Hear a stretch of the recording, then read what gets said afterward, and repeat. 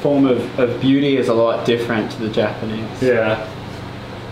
So that's why I like it. It kind of expands your mind into th thinking a little bit more about why it's beautiful, not just because it's pretty. Hey everybody, Tyler here with Doga TV, and today we are in the Bonsai Museum, which is pretty cool.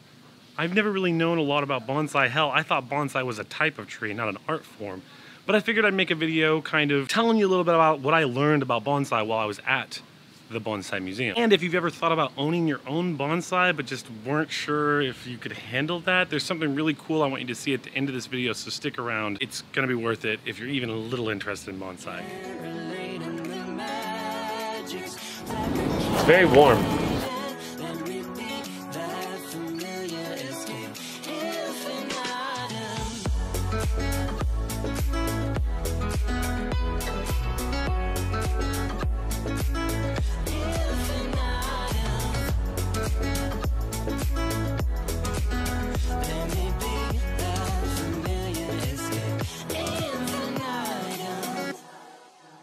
This is the one million dollar tree. Yikes. About 800 to 1,000 years old. Um, when I worked on this tree about six years ago, it was, a it was completely different. But he wants to express the, the line and really open up the trunk to show all this wild. I like the well. mix of the wild, Yeah. the dead wood, and the kind of like starting to die. Yeah. Can, I, can I ask you a, a little bit more of a personal question? Like, how did you get into bonsai? Like, how was that? How was that? Uh, I like, started. I started when I was 16, and my mum actually drove me past this bonsai nursery. Because one day I just really didn't want to go to school, and, uh, and my mum, being the mum that she is, she let me have the day off, and we drove around, and yeah, came past this bonsai nursery, and we did a workshop. And I just loved it. We're going to teach you a little bit about bonsai and Okay. how we can style a bonsai. So half the art of bonsai is actually putting it into some form of shape. So you could imagine if you were out in nature, Hmm. the weight of the branch is bringing it down. So you have all of this interesting movement that's mimicked from what you see in nature. the little I know about bonsai, it's like it's supposed to mimic like a bigger tree. It's supposed to be like Yes. a, a mini tree of sorts, but not like actually a mini tree. Take a bigger tree. It's Like scale. Balance we kind of talked about with with the line. Hmm. So the line meaning if I were to tilt it this way, that doesn't look that doesn't look right. Uh, But if I were to put it down here this way, so there's always one main branch that stretches out the longest. oh, okay. Oh, so the wraps around it to kind of give it Yeah. like this is where you're going, guy. yeah, yeah. This is this yeah. is you, you don't get a choice Yeah, in the matter um, to this this yeah. branch right here. So these two branches basically the two that are being wired at the current moment, right? All right.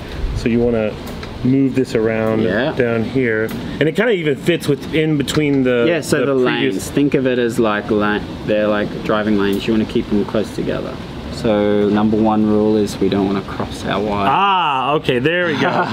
All right, so that means I would want to go this direction, Yeah. and then, if possible, move Yeah, that way. very good job. Right. I'm not good with we'll- delicate things.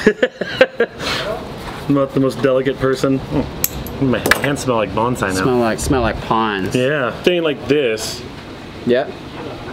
This would be the main branch, right? You can choose whatever. Oh, you go. Okay, yours. that's awesome. So do you want it on this angle or just just straight? Happy with this? I know. I kind of like one of the things I, uh, as I was looking, like the cascading, the one you were talking about, the Yeah. cascading. I, I think one of the things I like about the whole making it go down in certain directions, it makes it look like the tree has uh, will. Like it's like, oh, I want to go this direction. Yes, it's it like it's struggling. Yeah. Yes. Because now it looks like more of like a tree. line. Yeah. Like it's like standing up and it's kind Yeah. of sloping over. You could even have it really far over if you Oh. wanted to. What what is uh, like the most important thing I think bonsai is to really show the line of the tree as well, to express all of its all of its movement and show all of the the struggle that it's gone through. And then you get to the foliage, and then you can see that it's still pushing out new growth each year as well. Hey everybody! So we just got back from the. Okay. はい、はい、どうぞ。 So earlier in the week, we went to a bonsai garden, and the reason why we did that is because today's video was sponsored by Kami Bonsai, and I'm joined by the lovely Sayumi. Hello again. And so Kami Bonsai basically are these cute, adorable little, mm, little paper mache It's really cute. omiyage, I guess, like a souvenir. But yeah, so they're actually really cool. They have these little like packages right here. Which one do you want to do? You get to pick first because ladies So first. this one, like You're gonna ba- do matsu? How do you say basic? No. Basic. uh, that's why you're picking. You're picking the easy one. They have English and Japanese instructions, and the English is actually good, so we're good to go. Okay, so first, I think what you need to do is fold all this up, right? Yeah. No, no, no, no. You need, what you need to do. One, one thing you need to do is like before you fold in there, make sure the the angles are nice and tight. Tight and Step one, we're done. That's it. That's end of the video. We're done. Okay, okay. Now we have to. Now we need this part. I think. Wow, you, she's just rough with it. Like I'm just like let's get through it. Like oh abunai na, abunai na. Simon's just like fuck. So yeah, you want to fold all the pieces okay, first. and then like this. Yeah, Yay. you got it. Okay, wait, wait, wait, wait, wait. I'm sticking in the wrong hole. That's that's no good. So we have our pot, and we have put the soil in the pot. Now, now what? The first one I put together was a little bit more tricky to figure out, but once I got the hang of it, they were super easy to put together. I put my second one together in less than 10 minutes.